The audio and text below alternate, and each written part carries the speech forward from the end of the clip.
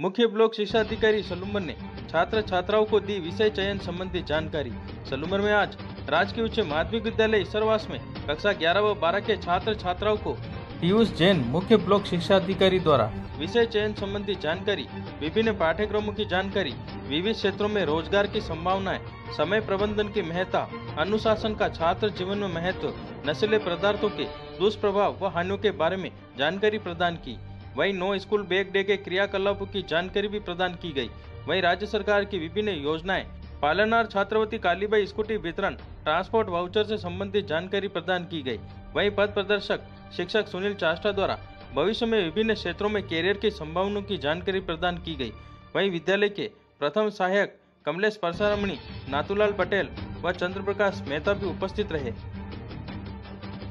मुख्य ब्लॉक शिक्षा अधिकारी सलूमर ने छात्र छात्राओं को दी विषय चयन संबंधी जानकारी। सलूमर